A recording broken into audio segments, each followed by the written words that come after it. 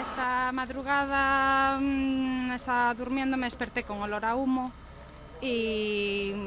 miré por casa si había algo encendido, nada, salían de los halógenos del baño, ya llamé a los bomberos, dijeron que estaba ardiendo la guardería de abajo y en cuestión dijeron que bajásemos y en cuestión de nada mm, se llenó todo de humo, pero un humo denso, o sea, yo vivo en el ático, la guardería está en el bajo, o sea, todo un humo súper denso y bajando corriendo por las escaleras y vamos, la tos, hoy mocos negros.